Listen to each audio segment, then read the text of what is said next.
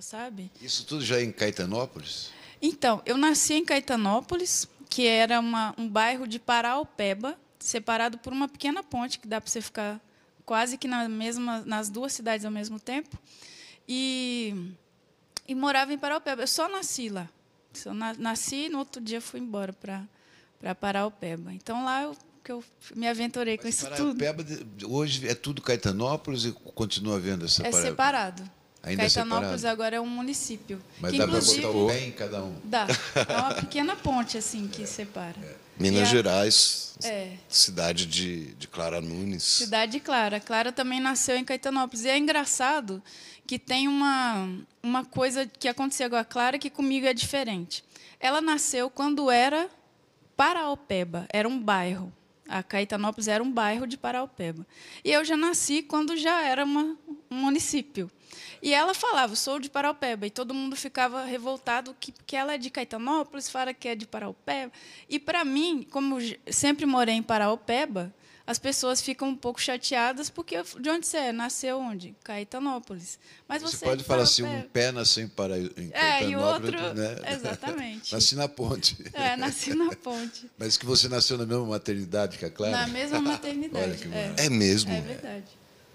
Eu não esperava por essa resposta. É. E é, é engraçado, barato, né? assim, porque Caetanópolis e Paraupé... É, eu, eu costumo dizer que ali é todo mundo meio parente, né?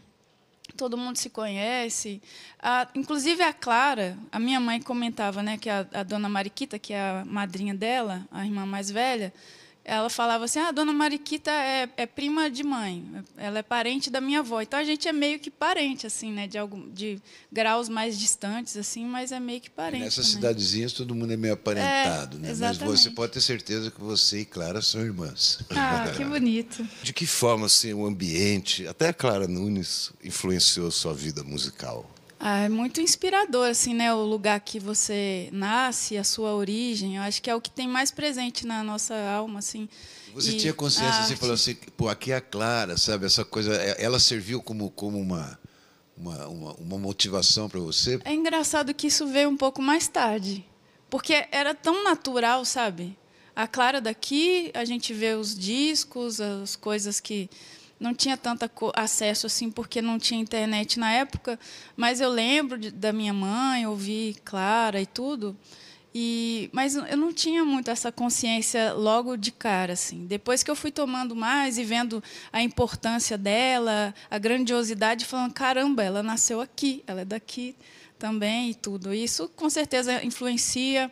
É, a cidade em si é uma eu acho que respira tudo que, que tem de, de Clara, que tem de mim e de todo mundo. Então acaba tudo influenciando assim na minha música. Eu acho que tem muito dessa vivência mesmo da Isso cidade. Isso é super importante essas referências na vida da gente, né? Muito. Eu, eu, eu sou da terra da Celi Campelo, do, do Tony. Isso era uma motivação. Você fala, pô, que legal, né? Para você poder é, é, é, lógico que a gente nunca acha que a gente vai, vai, vai, vai, vai crescer a ponto de, de se ombrear, né? Mas é quando a gente cresce e você fala, pô, agora estamos mais ou menos na mesma condição, é lindo. E tem uma coisa interessante lá em Caetanópolis que tem um muro que tem pintado, é tipo uma caricatura, né?